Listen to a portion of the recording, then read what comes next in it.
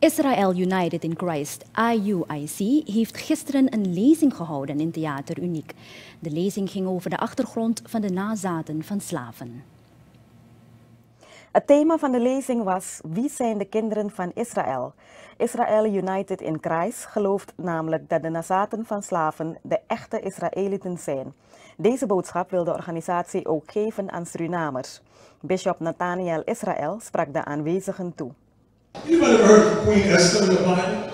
She was queen over all Persia. She was very important. There was another sister named Judith, very important, who saved the children of Israel from destruction.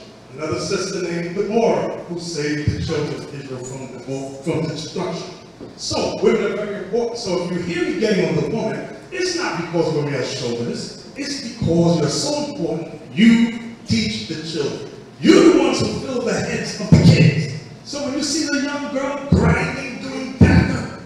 she got that from? Her mother. You see the young girl daggering on the floor? I don't know if you know what I'm talking about, daggering. You know the dance? Nobody knows what I'm talking about? Somebody explain that dance, daggering. You never heard of that? Sexual dansen, dus die, die bobbeling en dat soort dingen.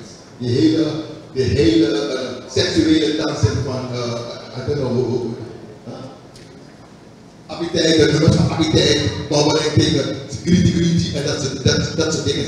Met voorbeelden haalde Bishop Israël aan dat de nazaten van slaven nog steeds onderdrukt worden door de voormalige kolonisatoren. How many of you are in Suriname, you mine gold here? You mine gold. Or your security.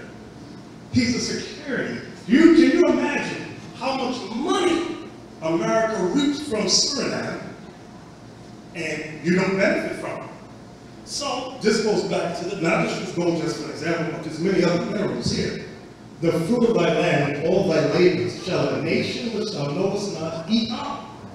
And thou shalt be only oppressed and crushed always. Why? Because we broke God's commandments. It always goes back to the commandments. And this is something we don't like law and order as a people. For some reason, we don't like that. Don't tell me what to do. God said, I'm telling you what to do. Do the commandments. You say, no! I want religion. So he said, okay. Slavery for you. Slavery for you, for you, for you, for you, for, you, for all of us. Now, now we are here in slavery. We want out. I want free. Do you want free? Oh, we're going to get to the solutions on that a moment. Bishop Nathaniel Israël van Israel United in Christ gisteren tijdens een lezing in Theater Uniek.